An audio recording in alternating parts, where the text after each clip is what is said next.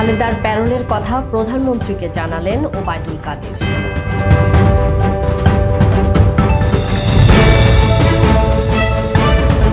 ভালোবাসা দিনে সড়কে ঝরল ছয় প্রাণ।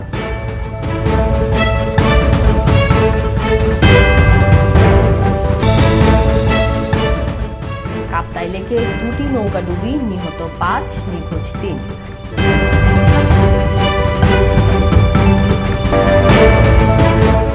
ইরাকে মার্কিন ঘাঁটিতে আবারও রকেট হামলা।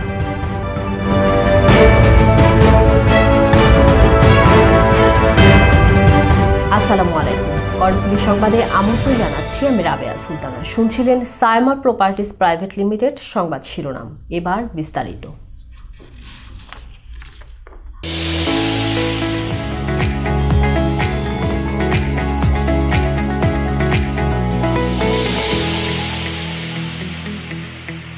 Saima properties private limited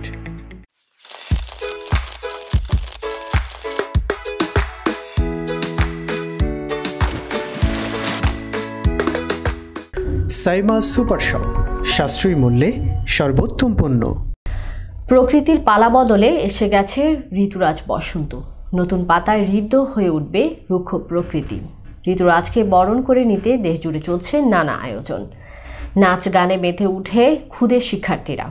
উৎসবের রং ছাড়িয়েছে ঢাকা, রাজশাহী, খুলনা, চট্টগ্রাম সহ দেশের বিভিন্ন বিশ্ববিদ্যালয়গুলোয়। শোভাযাত্রা, সাংস্কৃতিক অনুষ্ঠান সহ নানা আয়োজনে বসন্তকে বরণ করে নিচ্ছেন শিক্ষার্থীরা। শিক্ষা প্রতিষ্ঠান ছাড়াও বিভাগীয় ও জেলা শহরে বর্ণিল আয়োজনে বরণ করা হচ্ছে ঋতুরাজকে। উৎসবে বাড়তি মাত্রা যুক্ত করেছে ভ্যালেন্টাইন ডে।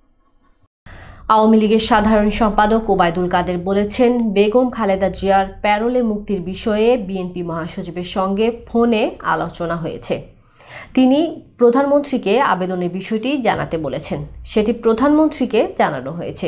শুক্রবার সকালে রাজধানীর ধানমন্ডিতে আওয়ামী লীগ সভাপতির রাজনৈতিক কার্যালয়ে সংবাদ সম্মেলনের দলের সাধারণ সম্পাদক ওবায়দুল কাদের জানান, বেগম জিয়ার মুক্তির বিষয়ে বিএনপি মহাসচিব টেলিফোনে তার সঙ্গে কথা বলেছেন।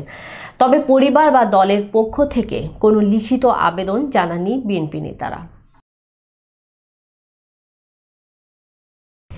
বিশ্ব ভালোবাসা দিবসে প্রিয়জনকে হারিয়ে কান্নায় ভেঙে পড়েন এক স্বজন। শুক্রবার সকালে গোপালগঞ্জের কাশিয়ানির পারুলিয়া এলাকা থেকে নসিমনে করে শহরে কাজে যাচ্ছিলেন দশ নির্মাণ শ্রমিক। পথে ঢাকা খুলনা মহাসড়কের পোনা বাস স্ট্যান্ডের লিঙ্ক রোড এলাকায় ঢাকাগামী ফাল্গুনি পরিবহনের যাত্রীবাহী একটি বাস নসিমনটিকে চাপা দেয়। ঘটনাস্থলেই নসিমনে থাকা দুই শ্রমিক নিহত হন। আহত আটজনকে গুরুতর অবস্থায় উদ্ধার করে স্থানীয় স্বাস্থ্য কমপ্লেক্সে নেওয়া হলে আরও দুজন মারা যান। আশঙ্কাজনক অবস্থায় আরেক শ্রমিককে ফরিদপুর মেডিকেলে নিলে তাকেও মৃত ঘোষণা করেন চিকিৎসক। এদিকে চট্টগ্রামের কর্ণফুলী থেকে প্যান্ডেক্স ফার্নিচার নামের একটি চায়না প্রতিষ্ঠানে কর্মরত ষাট জন শ্রমিক বাসে করে বার্ষিক বনভোজনে রাঙ্গামাটির উদ্দেশ্যে আসে। সকাল নয়টায় বাসটি চট্টগ্রাম রাঙ্গামাটি মহাসড়কের সাপছড়ি এলাকায় পৌঁছালে নিয়ন্ত্রণ হারিয়ে রাস্তার পাশে উল্টে যায়। ঘটনাস্থলে নিহত হন বাসের হেলপার। আহত হন অন্তত সাতাশ যাত্রী। তাদের উদ্ধার করে রাঙ্গামাটি সদর হাসপাতালে ভর্তি করা হয়। রাঙ্গামাটিতে দুটি নৌকাডুবির ঘটনায় পাঁচজন নিহত এবং তিন শিশু নিখোঁজ রয়েছে। শুক্রবার রাঙ্গামাটির ঝুলন্ত সেতু থেকে সুবলং যাওয়ার পথে ডিসি বাংলো এলাকায় পর্যটকবাহী একটি নৌকা ডুবে যায়। এ ঘটনায় পাঁচজনের মরদেহ উদ্ধার করা হয়েছে। পুলিশ জানায় নৌকাডুবির খবর পেয়ে স্থানীয়রা দ্রুত উদ্ধার কাজে নামেন।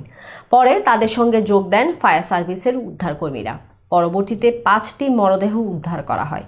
নিহতরা চট্টগ্রাম প্যাসিফিক জিন্স গার্মেন্টসের কর্মী বলে জানা গেছে। এদিকে কাপ্তাইয়ের কর্ণফুলী নদীর কলার ডিপু এলাকায় তিপ্পান্ন জনের ইসকন সদস্যবাহী একটি নৌকা ডুবে গেছে। এ ঘটনায় তিন শিশু নিখোঁজ রয়েছে। ইরাকের উত্তর বাগদাদের বিমান ঘাঁটিতে একযোগে একাধিক রকেট হামলার ঘটনা ঘটেছে। এতে স্থানীয় ইরাকি বাহিনীর চার সেনা আহত হয়েছেন। ওই বিমান ঘাঁটিতে মার্কিন সেনারাও অবস্থান করছেন। এক বিবৃতিতে বলা হয়েছে, আল বালাত বিমান ঘাঁটিতে আটটি ক্যাটু ইউশাক রকেট এসে পড়লে দুই ইরাকি কর্মকর্তা ও বিমান বাহিনীর দুই সদস্য আহত হয়েছেন। উত্তর ইরাকি প্রদেশ সালাদিনের পুলিশ কর্মকর্তা কর্নেল মোহাম্মদ খলিল বলেন, বেশ কয়েকটি রকেট বালাত বিমান ঘাঁটির রানওয়েতে আঘাত এনেছে। ফটকেও গিয়ে পড়েছে একটি। ইরানের শীর্ষ সামরিক কমান্ডার কাসেম সোলাইমানিকে যুক্তরাষ্ট্র বাগদাতে ড্রোন হামলা চালিয়ে হত্যা করার পর থেকে উত্তেজনা চলছে মধ্যপ্রাচ্যে। প্রাণঘাতী করোনা ভাইরাসে বেড়েই চলেছে মৃতের সংখ্যা। চীনের হুবে প্রদেশে মৃত্যুর মিছিলে একদিনে আরও যোগ হয়েছে একশো ষোলো জন। এ নিয়ে বিশ্বব্যাপী মৃতের সংখ্যা বেড়ে দাঁড়িয়েছে এক হাজার চারশো তিরাশি জনে। হুবেই স্বাস্থ্য কর্তৃপক্ষ জানিয়েছে, বৃহস্পতিবার প্রতিষ্ঠিতে মারা গেছেন একশো ষোলো জন। এখানে নতুন করে ভাইরাসে আক্রান্ত হয়েছেন আরও চার হাজার আটশো তেইশ জন। এ প্রদেশে মোট আক্রান্তের সংখ্যা দাঁড়াল একান্ন হাজার নয়শো ছিয়াশি জনে। সংবাদ শেষ করব, তার আগে শিরোনাম খালেদার প্যারোলের কথা প্রধানমন্ত্রীকে জানালেন ওবায়দুল কাদের।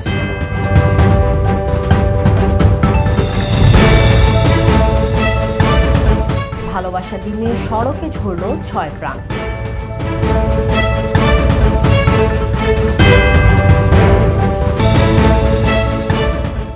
কাপ্তাই লেকে দুটি নৌকা ডুবি নিহত পাঁচ নিখোঁজ তিন।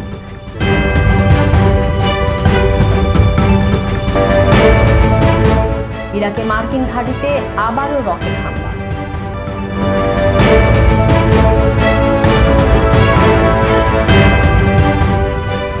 এ ছিল এখনকার মতো। প্রতিদিন রাতে আমাদের সংবাদ দেখার আমন্ত্রণ। ধন্যবাদ সবাইকে।